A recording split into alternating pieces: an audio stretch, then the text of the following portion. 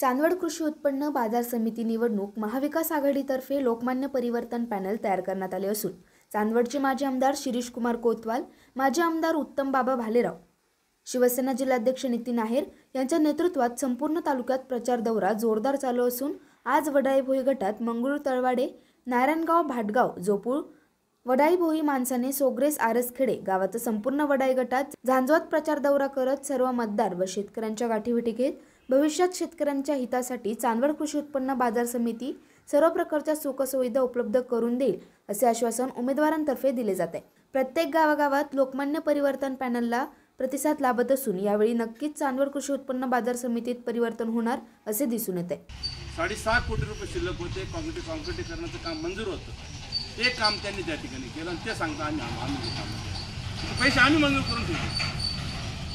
आणि त्यांनी त्याच्यावर फक्त आयच्या काय म्हणतात गोवाडलं तिथं तिथं त्या तिथं रेगा गावाडल्या आहे पाहिजे सांगण्यासारखं भरपूर आहे. आम्हाला दादांनी तर या ठिकाणी प्रत्येक गावात जाऊन सांगितलं काय काय केलं कसं केलं. आणि ज्यावेळेस या ठिकाणी मार्केट कमिटीची निवडणूक लागली त्यावेळेस सगळ्यांनी आम्ही असं ठरवलं होतं का प्रत्येकानं प्रत्येकाचं चॅनल तयार करावं. काँग्रेसवाल्याला वाटायचं काँग्रेसचं चॅनल तयार झालं पाहिजे. शिवसेनेला वाटायचं शिवसेनेचं पॅनल तयार झालं पाहिजे. राष्ट्रवादीला वाटायचं राष्ट्रवादी पॅनल तयार झाला पाहिजे. परंतु या ठिकाणी आम्ही सर्वांनी मिटिंग घेतल्या. सगळ्यांनी अठरा अठरा उमेदवार तयार केले. सगळ्यांकडे उमेदवार होते. मोठ्या प्रमाणात उमेदवारी मागायला तयार होते सगळे उमेदवार होते. परंतु जनतेतून असा सूर आला की तुम्ही सगळे एकत्र या आणि महाविकास आघाडी तयार करा. मग त्यामुळं लोकांच्या सांगण्यावरून लोकांच्या मागणीवरून आम्ही सर्वांनी आमचे मतभेद बाजूला ठेवले.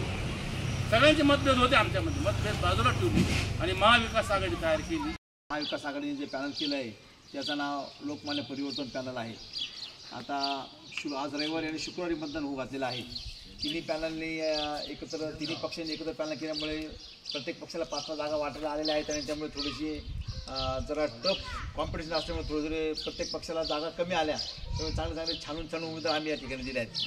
तुम्हाला फक्त एकच विनंती करणार आहे आमच्या पूर्ण पॅनलला मग सोसायटी गटात आणि ग्रामपंचायत गटामध्ये एकच निशाणी आहे विमान निशाणी आहे. त्यामुळे आता सोसायटी गटामध्ये एकूण अकरा मतं द्यायची आहेत आणि ग्रामपंचायत गटामध्ये चार मतं द्यायची आहेत. सोसायटी गटाच्या चार मतपत्रिका आहेत ग्रामपंचायत गटाच्या तीन मतपत्रिका आहेत. जास्त मतदान पडलं ठीक आहे.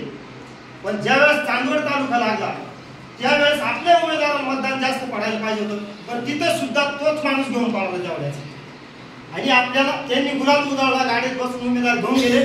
आणि आम्हाला खाली मान घालून घरी जावं लागलं असं करू नका. सर्वांनी यांची त्यानं काम करा आणि मार्केट कमिटीमध्ये काय जीव गेला तरी चालत.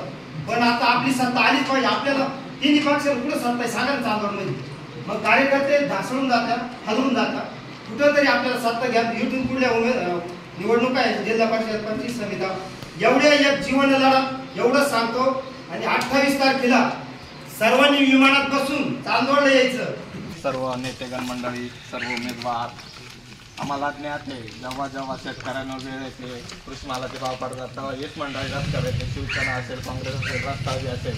आणि भाजपची मंडळी शेतकऱ्यांची बाजू मांडण्याऐवजी शासनाची बाजू मांडते. त्यामुळे आम्हाला खात्री आहे ही लोक शेतकऱ्यांचा विकास करू शकतात शेतकऱ्यांचे प्रश्न सोडू शकतात. त्यामुळे आम्ही सर्व निमोणकर तुमच्या लोकमान्य पॅनलच्या पाठीचे खंबेपणे विरोध नाईन न्यूज महाराष्ट्रासाठी प्रतिनिधी धनंजय पाटील चांदवड.